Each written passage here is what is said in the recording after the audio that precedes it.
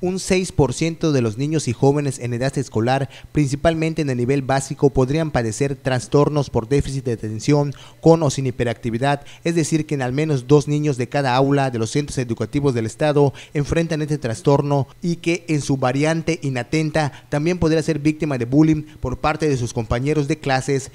En la variedad inatenta, el chico que es muy calmado pero muy distraído es el que es más susceptible de, acoso eh, por parte de sus compañeros. Los trastornos de atención con hiperactividad eh, son un problema pues, vigente en, nuestro país.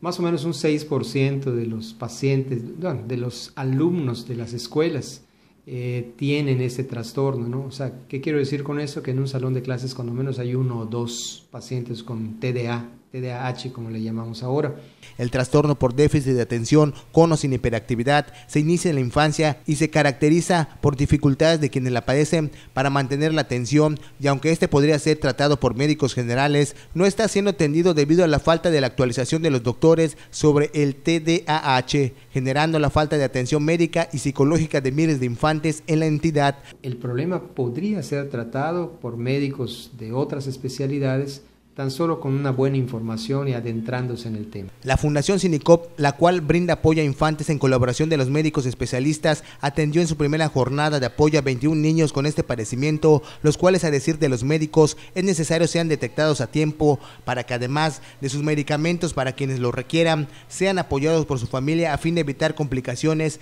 bajo rendimiento escolar o lo que es peor, bullying. Juan José Guillermo Ríos, neurólogo pediatra colaborador de la Fundación Cinicop, explicó que existen tres tipos de variantes de este padecimiento. Sin embargo, los inatentos son los que más riesgo tienen de ser acosados por sus compañeros, por lo que recalcó la necesidad de que sean detectados en forma temprana y que los médicos en general conozcan este padecimiento a fin de poder detectar y tratar este trastorno. Para Notivisión, José Palma,